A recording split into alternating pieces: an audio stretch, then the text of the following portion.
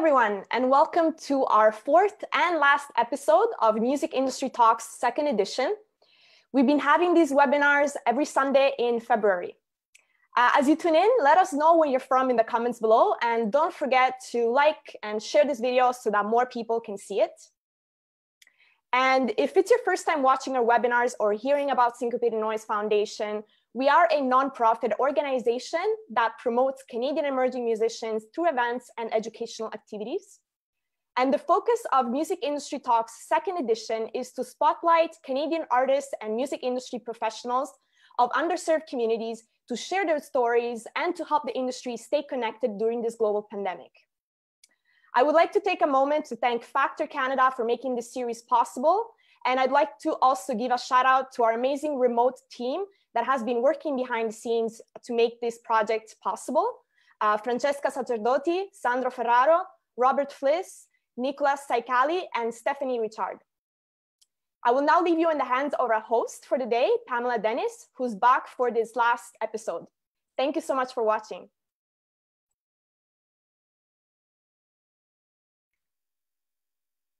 Thank you, Alessia and Sincop8ed Noize Foundation for having me as a guest as a guest host. I'd like to introduce myself. I'm Pamela Dennis. I've had the chance to work with many artists and vocalists um, and touring the world. I'm lucky to have been able to organize events and music business networking events, which allowed me to support and connect with industry professionals and artists from uh, various communities. So I'm currently a freelance music marketing and business development consultant. And today I'm here with our special guest, Modibo Keita. I'm born in Montreal, Canada. Modibo Keita is a music entrepreneur. Through his work as a professional trombonist, he has worked with various artists like Narcy, Vox Sambou, Dr. Nativo, and Kobo Town, amongst others, and has toured all over the world. Keita is also the founder and artistic director of Montreal-based concert series, The Shed Montreal, and We Up, Re-Up. Bringing talent from the underground hip hop and R&B scene to the stage, the concert series has been one of the fastest growing in Montreal in the last three years. The Shed Montreal is officially endorsed by Red Bull Music Canada. More recently, Keita has unveiled his clothing line of Afrocentric outerwear called Fama Den, set to be released in 2021. Modibo Keita is a Twigg Musique and Yamaha Music Canada clinician. Um, thank you for joining us and uh, welcome. Hi, how you doing? Great, thanks. Um, you've been doing so many interesting things in the last three years, and I'm really excited to kind of like dig into all these deal projects that you're doing. Um, but foremost, you are a musician. You started as a musician. So um, can you tell us, um, can you take us through the, the early developments uh, as a musician? Where did you begin to refine your craft and develop your musical ability? Yeah, um, basically for me, it was it was the the typical story. You know, like I started playing music in in high school. I don't really come from a musical family by any means. Um, it was more. I always had like an interest for for music, so uh, I was really into music despite the fact that I wasn't playing yet. So um, when I got to high school, um, I had music classes. So through there, I started playing classical music. And, you know, I, because I was already a hip hop head, I was already a jazz head, uh, I was into all that stuff. Um, I kind of was trying to find a way to play these kind of music. So, so um, I started going out and and checking out these uh, community community collective. Since I was like 12 these guys gave me the opportunity to to play with them. So I kind of grew through them um, as as well as nomadic massive. They kind of they kind of fostered me from a very young age into uh, when I officially went to study music um, when I went to like upper studies um, but that was kind of my training ground, you know, like improvised music and uh, and hip hop music. I I learned my I got my musical identity together through that practice. Nice. Um, who inspired you? Because um, you did you picked an instrument that is I'm gonna say not mainstream, but in any way it's that it's pejorative. Um, so I'm curious to know who your inspirations, like what attracted you to that specific instrument. So, as like musically, I have some inspirations, but I also have, I think, in terms of how I see myself as a musician, another inspiration. So, like in terms musically speaking, I think um, that story is pretty funny because I, I I wanted to be a trumpet player. That's like the trumpet is is like the instrument that really draw like drew me towards music, especially when we're talking about like executing music, not necessarily listening to like but like I was like I'm not I don't feel like I would have been out there trying to listen to trumpet when I was like 11, 12, but that definitely was the instrument that was interesting me the most. So when I was in uh, in music class, my teacher um, told me when we were trying out the instruments, yeah, maybe you should try the trombone because uh, your lips are a little big. So I don't know if it's gonna work so easily for you on the trumpet. So me being like, yeah, whatever, you know better than me. So I took I took the trombone, but really it was just because nobody really wanted to play the trombone. So kind of found a way to like get me to, and it was cool, you know, because I, I I was into the music, so it wasn't like like I didn't I didn't mind not playing the trumpet at, at that point. So, um, but I wasn't as into the trumpet as I was into, like I wasn't as into, uh, into the trombone as much as I was into the trumpet. So it kind of took me a while to kind of get into it. You know what I mean? So for me, it's really, it's really about like um, thinking about that part of it that was big. But then after, um, you know, I, I just found a love for it and I it just it just worked out. So, but in terms of like being a, a musician, like how I see myself being a musician, I think for me, my biggest inspiration, and I'll always say this, is Vox Sambou, who's a musician from Montreal. Um, he took me when I was like 11 years old. I was like in a really tough neighborhood, you know, and I, and he saw that I was playing music. He took me to all these places and he kind of like put me in rooms and around people that gave me the tools to become the person I am today. So, like, I think that's just the bottom line, you know. And up till this day, I still look up to him. You know, that's amazing. So you had you had a mentor. I think not a lot of people can say that they have their inspiration is in Montreal and they have a mentor that you know takes them under their wings and, and develops uh, their musical ability. I mean, um, that's that's something to be proud of. Yeah, I think it's it's funny because all throughout my development, it was always like I always had mentors, whether it was, you know, like of course Vox was like one of my first big ones, you know.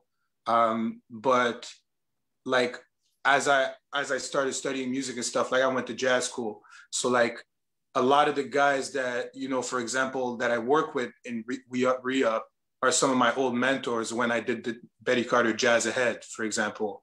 So and some of these cats are like playing with like some of the biggest names in the world. So so it was really cool to get the coaching from these people on the music and things. But like because I've I've been used to grow like that in the musical environment, for me in the more entrepreneurial side of things, I kind of took the same approach.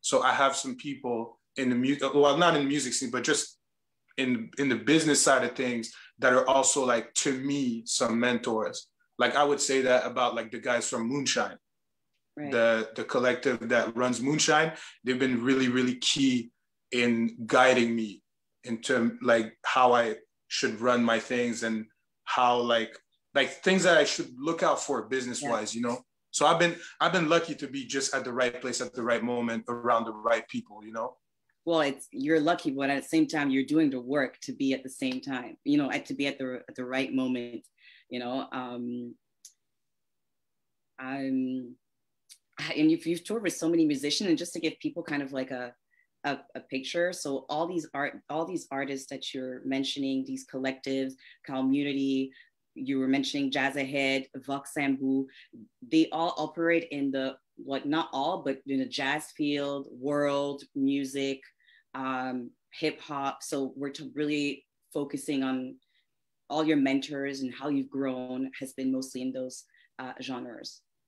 Yeah, I would say so. I think um, you know, obviously, like through like jazz education, you got to do you got to do like the classical thing for a bit, you know? That's, I think that's an easy, like the classical thing is, is kind of an easy way to build your technique uh, because the jazz thing can get pretty deep sometimes. I'm not, not trying to shoot down the classical music, but I think there's kind of like, uh, there's definitely like a process that's institutionally built to learn through classical music. And jazz music is not really taught like that. Yeah. Jazz music is really like, we're gonna toss you in the fire and you better stay alive. That's like the approach.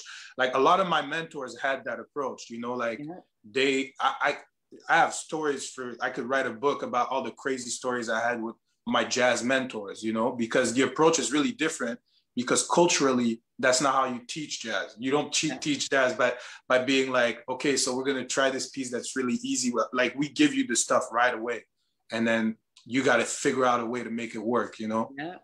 Actually about about these stories that you're saying i mean you've toured with, with so many artists around the world it must have been a thrill. I, I know it's exciting. You're in a different country, different culture, different food, different people. Um, I'm certain you have some exciting stories to share. Can you share one of us, one of one of them? Yeah, I mean it's funny because I've been touring since I was like 17, or even I guess my first my first tour outside of the country was when I was 17 and I turned 18 in New York City.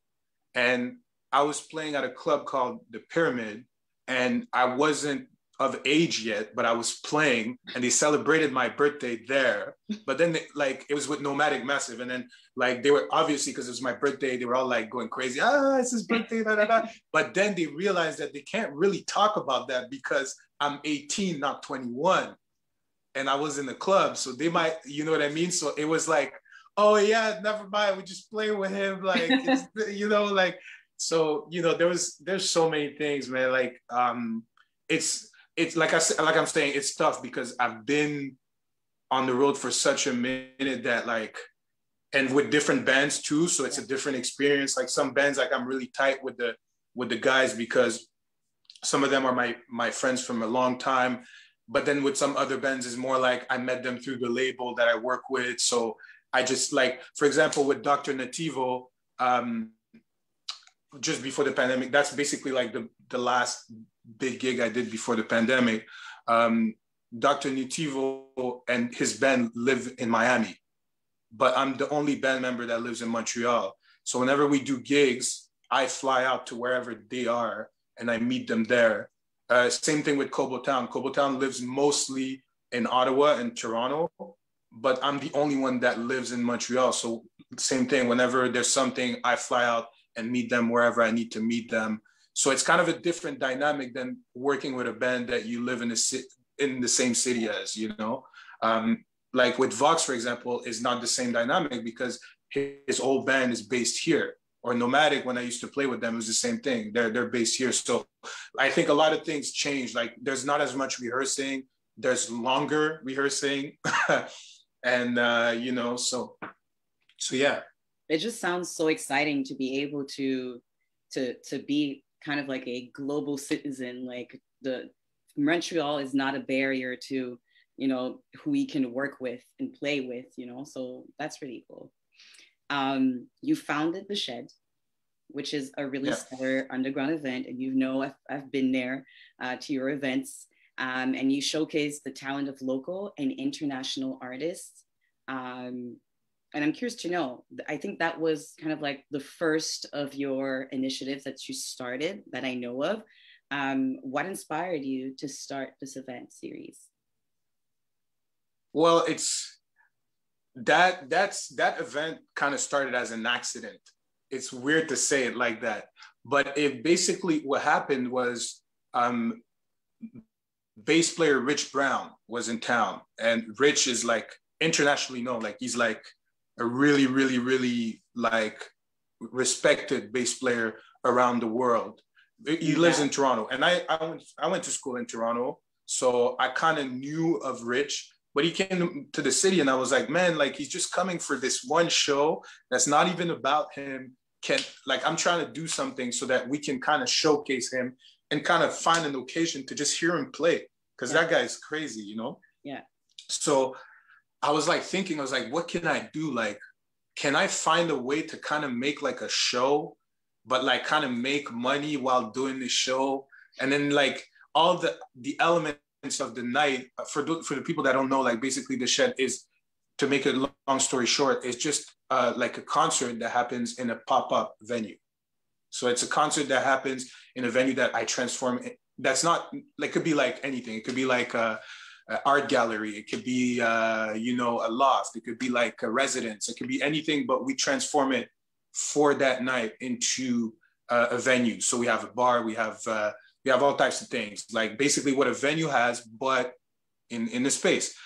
And basically, I was like, some of my friends were like, well, you can do it in our, in our loft. Like they had a loft on Saint Laurent, um, around like Prince Arthur and Saint Laurent. And they were like, yo, we, we, we do shows all the time here.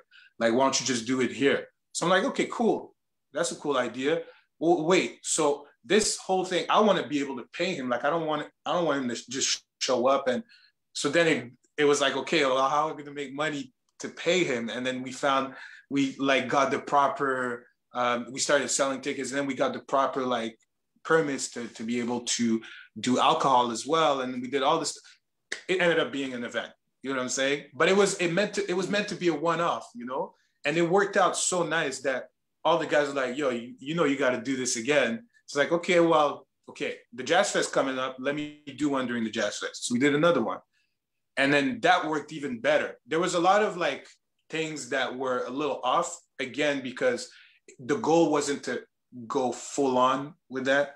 Um, but it's ended up being cool, you know?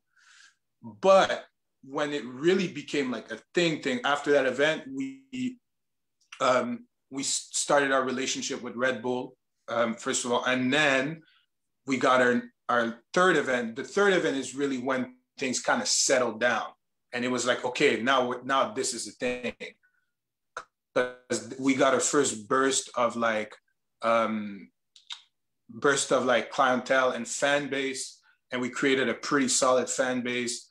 And and you know, the, after that, the rest was history. We just kept on doing the thing and trying to make it grow and build it into something. I've been really fortunate to be able to book some some seriously great artists and be in touch with some seri- seriously great artists like internationally known you know to be able to come to the shed. Unfortunately, due to the pandemic, um, all these bookings are still on hold, you know.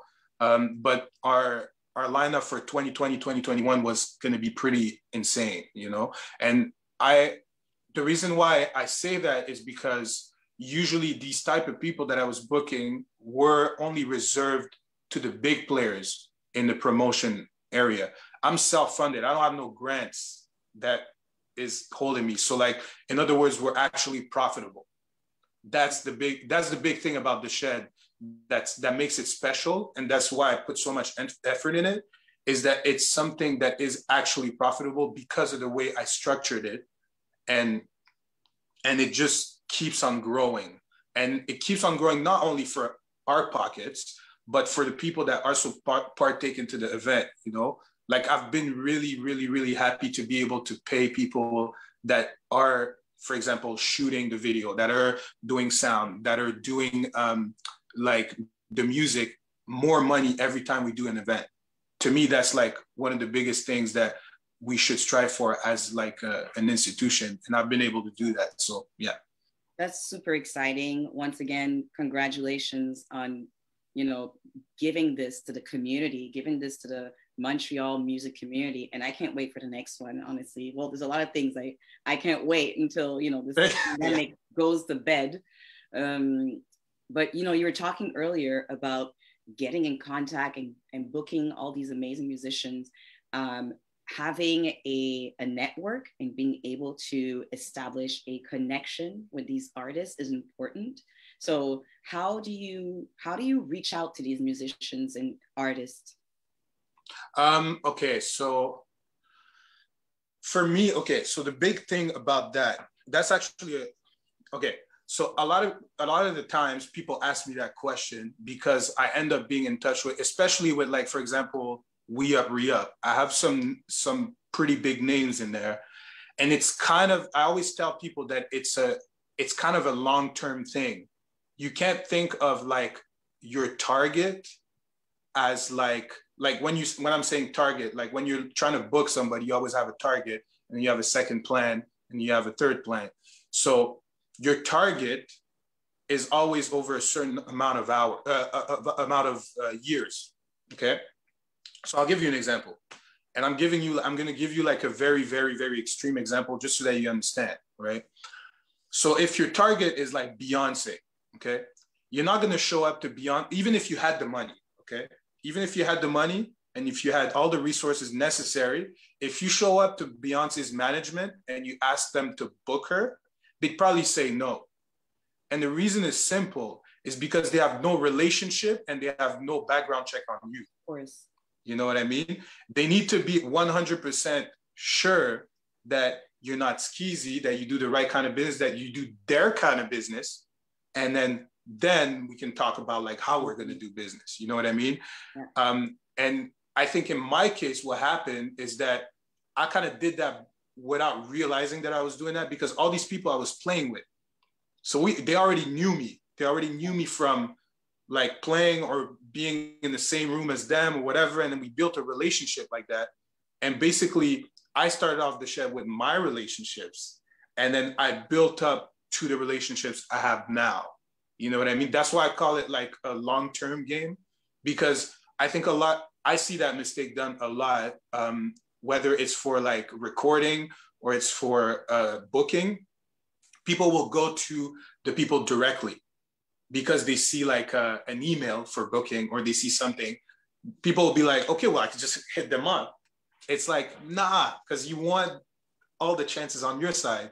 You know what i mean? So what can you do to have the chances on your side? And that's how i was, I was thinking. I was thinking about like checkmating the the people and be like there's no way yeah and it's just no way you can you can say no. I think like when you book you need to have a booking strategy the same way when you sell a product you want to have a like a marketing strategy yeah. is the same thing. It's not because it's not because you just go and offer money to people that they're going to say yes i think i mean i know i'm like that. that that makes complete sense you know like you used your your network your resources that you had and from your you know experiences from the from the different like bands and artists that you worked with and you leverage that in under in order to reach um, the names that you wanted to reach. And i think that's a, a very sound strategy actually. And since you mentioned we up re up can you tell us about that that second project? Yeah um, we up re up basically is just um, okay so the way it started we up re up um, is I was, you know, it was the pandemic, it was middle of the pandemic. And then I get a message from one of my old teachers from Betty Carter's Jazz Ahead. And Betty Carter's Jazz Ahead basically is a program that runs at the Kennedy Center for, I think, uh, kids between the age of like, I think 16 to 25. And they pick 25 in the world.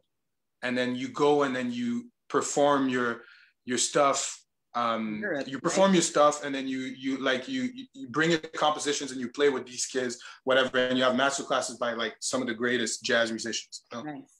so but one of the guys in there reached out to me was like hey man i seen what you've been doing with the shed. You think you could do that with us? So i was like yeah i mean i did i did it already. I know no already. way. Yeah he was like i have um, like i have a plan with this and and i know it worked on my side I probably could do it again. And keep in mind, like that's one of my mentors. Like that's I, like I respect J.D. Allen. He's a great saxophonist from Detroit, um, and uh, you know he's played with everybody: Betty Carter, Ornette Coleman, uh, Butch Morris. Like name it. You know, it's like big big leagues. You know, and then I'm just he's like. I'm like, yeah, I can do this. Like, but it's not complicated. We just have to have time and we have to be pretty disciplined about how we're going to approach this. So uh, we started We Up We Up as a way to raise funds for our project because right now we can't do anything because we're we're in the middle of a pandemic. So um, basically, we started We Up We Up as a way to kind of showcase what we can offer. And while we do that, we're raising funds to be able to put up our own shows and our own productions. So how we do that is that we have a platform on Patreon, and then we pre-record concerts um, that are showed every week. There's a different concert. Um, last week we had a documentary of this great pianist uh, based in Chicago called Alexis Lombre. She um, basically documented the process of creating her album, and she premiered the documentary on We Up Re Up. So we just put a bunch of content. We had a call the other day talking about like music theory and all that stuff. We kind of wanted to be like a resource for musicians and non-musicians, people that have an interest in music or people that just want to learn more, you know.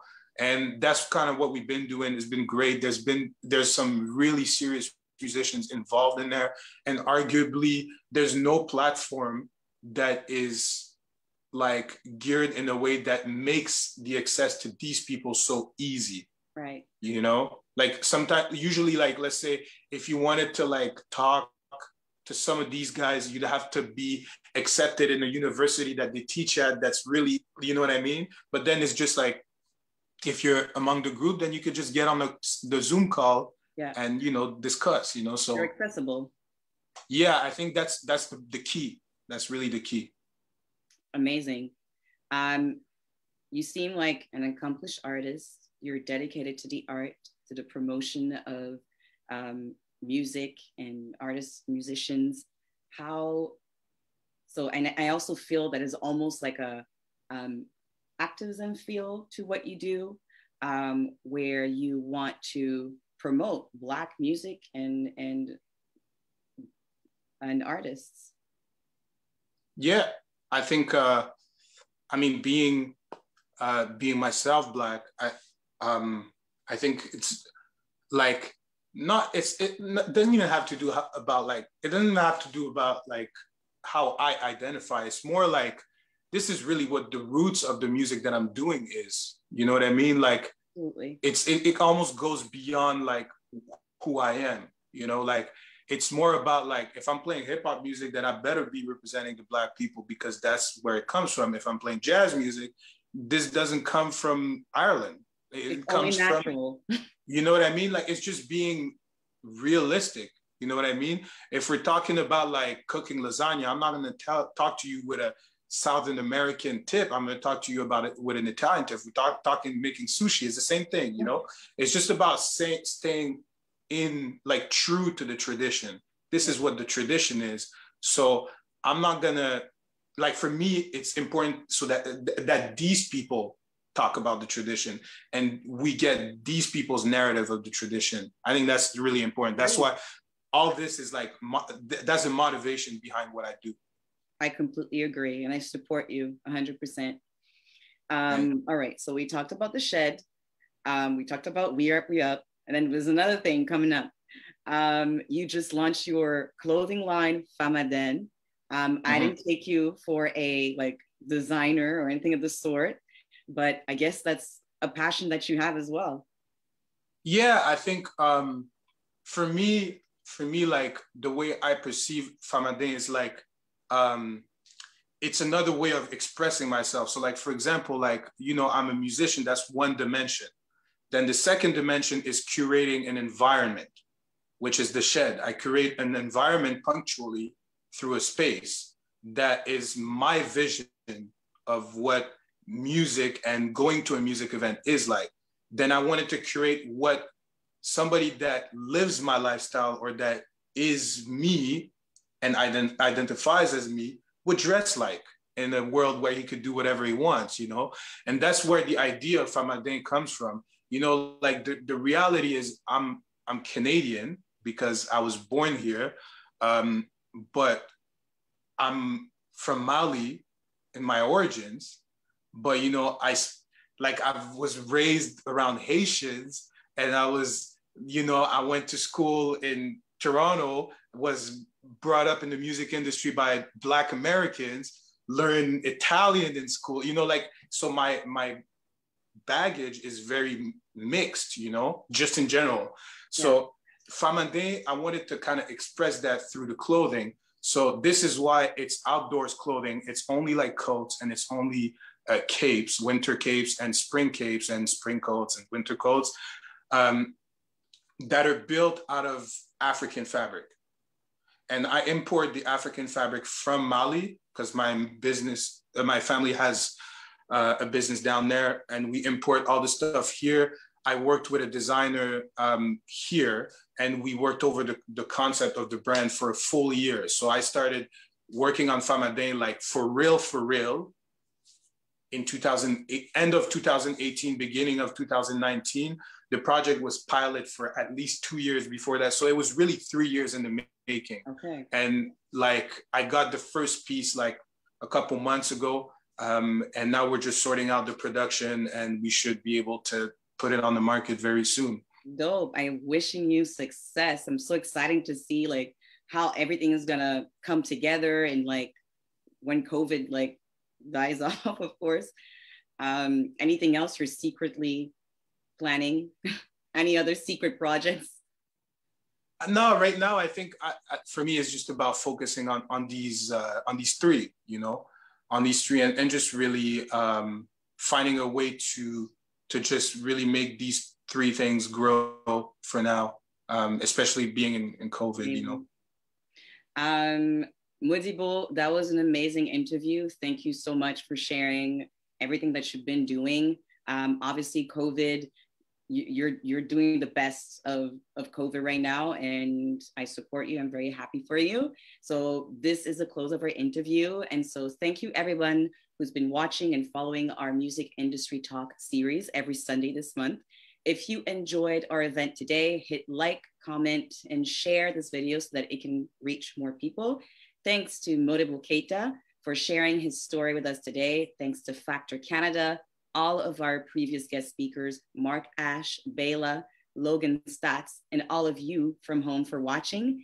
Don't forget to subscribe to the foundation's mailing list at sincop8ednoize.org.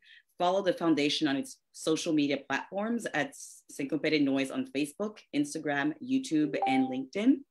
Stay tuned for more projects and initiatives that help support Canadian emerging musicians. And if you'd like to make a donation to the foundation, the link will be available below. Thanks everybody for watching and stay safe.